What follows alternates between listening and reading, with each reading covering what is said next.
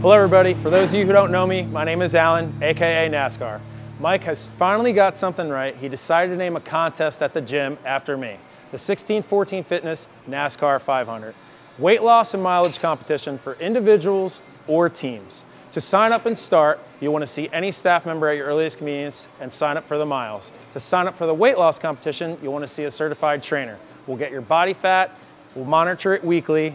The contest runs now until February 27th. See us today to get started.